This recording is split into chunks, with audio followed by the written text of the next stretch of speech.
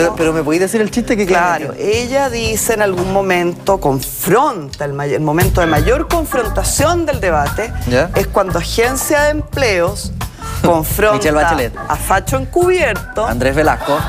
y le dice, usted acaba de hablar de la vieja política, mirándome a mí. ¿Se refiere a mí? ¿Por vieja o por política?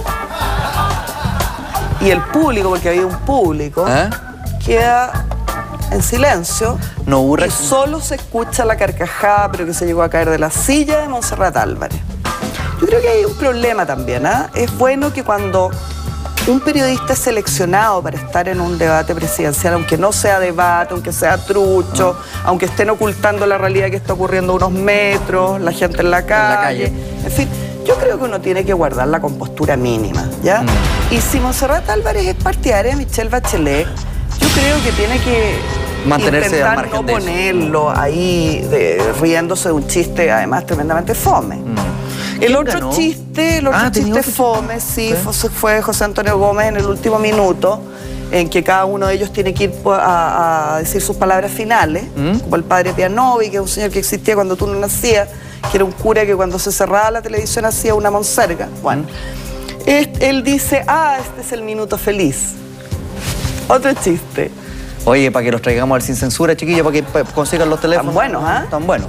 Bueno. Comedia de alta factura. Súper Oye, bueno. pregunta amplia.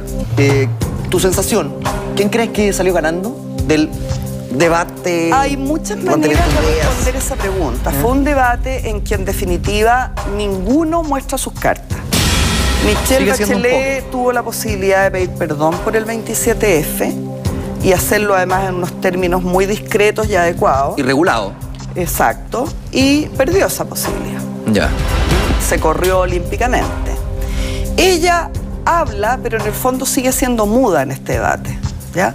Retrocede respecto de sus propias propuestas en educación y en asamblea constituyente.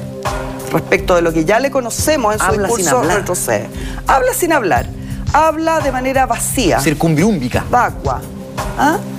Eh, no, no, no, y espacia a los hijos ¿no? también, que es una cosa que yo la encontré fantástica, porque es una palabra que no conocía yo. Está